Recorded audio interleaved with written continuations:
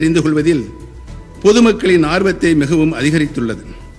மாண்புமிகு தமிழ்நாடு முதலமைச்சர் அவர்கள் கீழடி அகழ்வாராய்ச்சியில் கிடைக்கப்பட்ட பொருட்களை காட்சிப்படுத்துவதற்காக உலகத்தரம் வாய்ந்த ஒரு புதிய அகழ்வாய் அகல் வைப்பகம் உலகத்தரம் வாய்ந்த ஒரு புதிய அகல் வைப்பகம் அமைத்திட பனிரெண்டு புள்ளி ரெண்டு ஒன்று கோடி ரூபாய் நிதி ஒதுக்கீடு செய்துள்ளார்கள். பண்டைய காலத்து தமிழர் நாகரிகத்தை பற்றி மேலும் அறிவதற்காக கூடுதலாக நான்கு தொகுப்புகளில் தொல்லியல் கள ஆய்வுகள் மேற்கொள்வதற்கு மாநில தொல்லியல் துறை இந்திய தொல்லியல் துறையின் ஒப்புதலை பெற்றுள்ளது. ரெண்டாயிரத்தி இருபது இருபத்தி ஒன்றாம் ஆண்டிற்கான வரவு செலவு திட்டத்தில் தொல்லியல் துறைக்காக முப்பத்தி ஒன்று புள்ளி ஒன்பது மூணு கோடி ரூபாய் ஒதுக்கப்பட்டுள்ளது. நிலைக்கத்தக்க வளர்ச்சி இலக்குகள். ஐக்கிய நாடுகள் சபை நிர்ணயித்துள்ள நிலைக்கத்தக்க வளர்ச்சிக்கான இலக்குகள் ரெண்டாயிரத்தி முப்பது மத்திய அரசாலும் மாநில அரசாலும் ஏற்றுக்கொள்ளப்பட்டன. ஏற்றுக்கொள்ளப்பட்டுள்ளன. இந்த பதினேழு இலக்குகள் மற்றும் நூற்றி அறுபத்தி ஒன்பது குறிப்பிட்ட இலக்குகள் மாநிலத்தின் வளர்ச்சி ஏற்படுத்தும் கட்டமைப்பாக அமையும். அவற்றில் பத்தொன்பது இலக்குகள் ரெண்டாயிரத்தி இருபதாம் ஆண்டிற்குள்ளும் இரண்டு இலக்குகள் ரெண்டாயிரத்தி இருபத்தி ஐந்தாம் ஆண்டுக்குள்ளும் இதர இலக்குகள் ரெண்டாயிரத்தி முப்பதாம் ஆண்டுக்குள்ளும் எட்டப்பட வேண்டும் என நிர்ணயிக்கப்பட்டுள்ளன.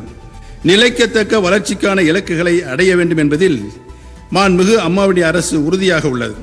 ரெண்டாயிரத்தி இருபதாம் ஆண்டிற்குள் அடைய வேண்டிய இலக்குகளை எய்துவதற்காக செயல் திட்டங்கள் வகுக்கப்பட்டு செயலாக்கத்திலும் உள்ளன.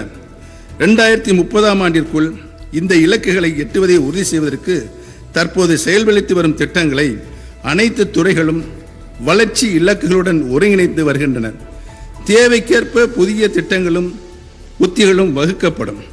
ரெண்டாயிரத்தி பத்தொன்பதாம் ஆண்டு நித்தி ஆயோக் வெளியிட்ட இந்தியாவிற்கான நிலைக்கத்தக்க வளர்ச்சிக்கான இலக்குகள் குறியீட்டில் தமிழ்நாடு மூன்றாவது இடத்தில் உள்ளது. வளர்ச்சி இலக்குகள் எய்தப்படுவதை கண்காணிப்பதற்கான வலைதள அமைப்பு ரெண்டாயிரத்தி பத்தொன்பதாம் ஆண்டு நவம்பர் மாதம் ஏழாம் தேதி அன்று என்னால் தொடங்கி வைக்கப்பட்டது. மாநிலத்தின் சாதனைகளை துல்லியமாகவும் குறிப்பிட்ட காலத்திற்குள்ளும் மத்திய அரசுகளுக்கு மத்திய அரசுக்கு தெரிவிக்க வழிவகவும் செய்யப்பட்டுள்ளது. இத்தகைய முயற்சியினால் இலக்குகளை அடைவதற்கான தரவரிசையில் தமிழ்நாடு முன்னேற்றம் பெறும் என நாம் நம்புகிறோம். நிர்வாகம். மறைந்த முன்னாள் முதலமைச்சர் புரட்சித் தலைவி மாண்புகு அம்மா அவர்களின் அடிச்சுவடுகளை பின்பற்றி நிர்வாகத்தரையும் சேவை வளங்கள் துறையும் உயர்த்துவதில் மாண்புமிகு அம்மாவரது அரசு முழு கவனம் செலுத்தி வருகிறது. ரெண்டாயிரத்தி பத்தொன்பதாம் ஆண்டு டிசம்பர் மாதம் இருபத்தி ஐந்தாம் நாளன்று மத்திய அரசு வெளியிட்ட நல் ஆளுமை திறனுக்கான குறியீட்டு பட்டியலில் ஒட்டுமொத்த வர்- தரவரிசையில் நாட்டில் உள்ள பதினெட்டு பெரிய மாநிலங்களில் தமிழ்நாடு முதலிடத்தை பெற்றுள்ளது. மாண்புமிகு அம்மாவுடைய அரசின் நிர்வாகத்திற்கு கிடைத்த ஒரு மாபெரும் அங்கீகாரமாக இது வரலாற்றில் பதிவு செய்யப்பட்டிருக்கிறது. இந்தியா டுடே பத்திரிகை நவம்பர் ரெண்டாயிரத்தி பத்தொன்போதில் மாநிலங்களின் நிலை என்ற தலைப்பில் மேற்கொண்ட ஆய்விலும் ஒட்டுமொத்த செயல்திறன் மிக்க மாநிலம் என்று தமிழ்நாடு தொடர்ந்து இரண்டாவது ஆண்டாக தேர்ந்தெடுக்கப்பட்டுள்ளது. மக்களுக்கு அளித்த வாக்குறுதிகளை நிறைவேற்றும் அரசு மான்மிகு அம்மாவுடைய அரசு. ரெண்டாயிரத்தி பதினொன்று பன்னிரெண்டாம் ஆண்டு முதல் ரெண்டாயிரத்தி பத்தொம்போது இருபதாம் ஆண்டு வரை மொத்தம் எழுநூற்றி பதினைஞ்சு அறிவிப்புகள் வரவு செலவு திட்டத்தில் திட்டங்களில் இடம்பெற்றிருந்தன. இவற்றில் ஐநூற்றி முப்பத்தி ஏழு அறிவிப்புகள் முழுமையாக நிறைவேற்றப்பட்டுள்ளன. நூற்றி அறுபத்தோரு அறிவிப்புகளுக்கு தேவையான ஒப்புதல் ஆணைகள் வழங்கப்பட்டு பணிகள் நிறைவடையும் நிலையில் உள்ளன. மீதமுள்ள பதினேழு அறிவிப்புகளின் மீது நடவடிக்கைகள் மேற்கொள்ளப்பட்டு வருகின்றன. ஆதாரங்களின் அடிப்படையிலான அணுகுமுறையில் வறுமை ஒழிப்பிற்கான கொள்கையை வகுக்கவும் வறுமை ஒழிப்பு திட்டங்களின் கீழ் அதிக பயன்களை வழங்கவும் மறைந்த முன்னாள் முதலமைச்சர் புரட்சித் தலைவி மான்முக அம்மா அவர்கள் ரெண்டாயிரத்தி பதினாலாம் ஆண்டு ஆகஸ்ட் மாதம் எட்டாம் தேதியன்று இப்பேரவையில் அறிவித்தபடி தெற்கு ஆசியாவின் ஜேபால் மையத்துடன் தமிழ்நாடு அரசு புரிந்துணர்வு ஒப்பந்தம் மேற்கொண்டது. ரெண்டாயிரத்தி பதினாலாம் ஆண்டு நவம்பர் மாதம் பத்தொன்பதாம் நாளன்று இந்த ஒப்பந்தம் கையெழுத்தான போது ஜேபால் மையத்தின் நிறுவன இயக்குனரான பேராசிரியர் எஸ்தர் டாஃப்லோ உடன் நானும் இருந்தேன்.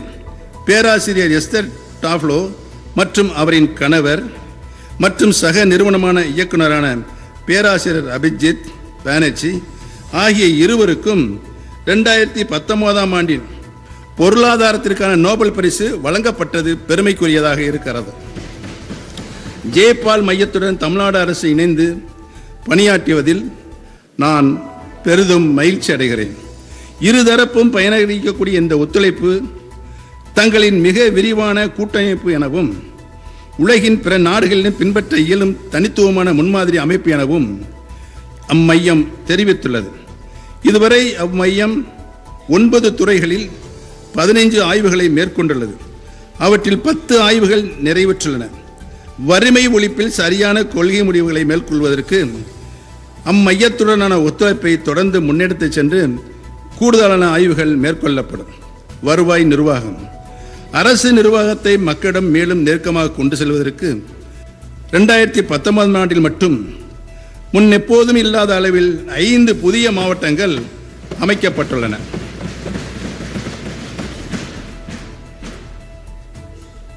ரெண்டாயிரத்தி பதினொன்றாம் ஆண்டு முதல் பதினாறு புதிய வருவாய் கோட்டங்களையும் தொண்ணூற்றி ரெண்டு புதுவாய் வருவாய் வட்டங்களையும் மாண்புமிகு அம்மாவரது அரசு தோற்றுவித்துள்ளது. புதிய மாவட்டங்கள் சிறப்பான முறையில் செயல்படுவதற்கு ஆண்டு ஒன்றிற்கு ஐம்பத்தி ஒன்பது புள்ளி ஏழு மூணு கோடி ரூபாய் தொடர் செலவினத்தில் எண்ணூற்றி முப்பத்தஞ்சு புதிய பணியிடங்கள் உருவாக்கப்பட்டுள்ளன. இந்த புதிய மாவட்டங்களில் ஐநூற்றி ஐம்பது கோடி ரூபாய் மொத்த மதிப்பீட்டில் பெருந்திட்ட வளாகங்களை அமைப்பதற்கான இடங்களை கண்டறிவதற்கான பணிகள் தொடங்கப்பட்டுள்ளன.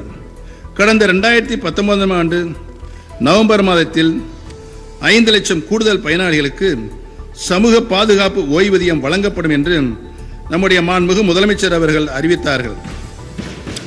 இதன் மூலம் ஓய்வூதியம் பெற தகுதியுடைய மொத்த நபர்களின் எண்ணிக்கை முப்பத்தி நான்கு புள்ளி நாலு ஏழு லட்சமாக உயர்ந்துள்ளது.